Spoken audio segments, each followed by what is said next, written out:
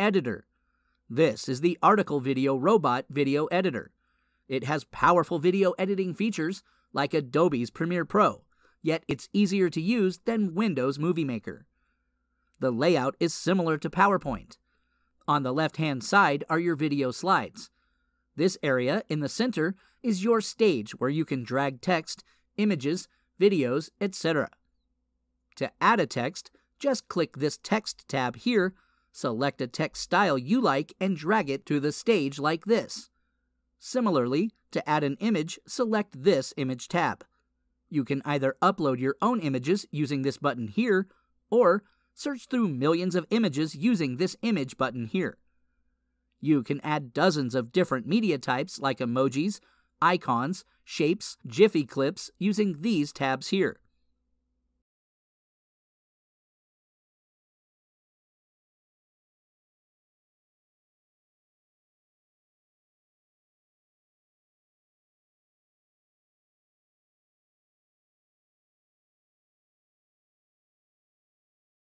This panel below the stage is your timeline. This controls the timing of your video elements. So, let's say I want this text to appear at 1 second and keep it visible for the next 2 seconds. So I will set the start time to 1 second and the end time to 3 seconds.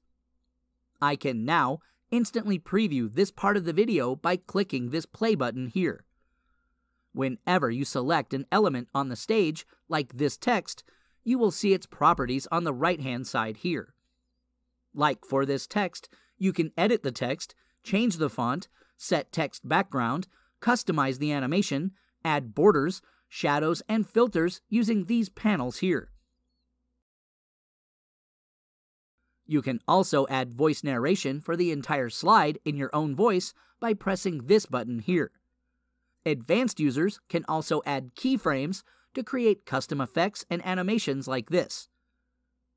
Select this movie tab here to customize your video.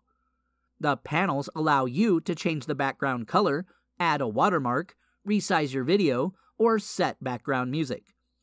To preview your video, use this button here. Once you're happy with your video, click this download button here. Use our automatic video distribution service to post this video to dozens of video and social media sites and start generating new leads and traffic for your business.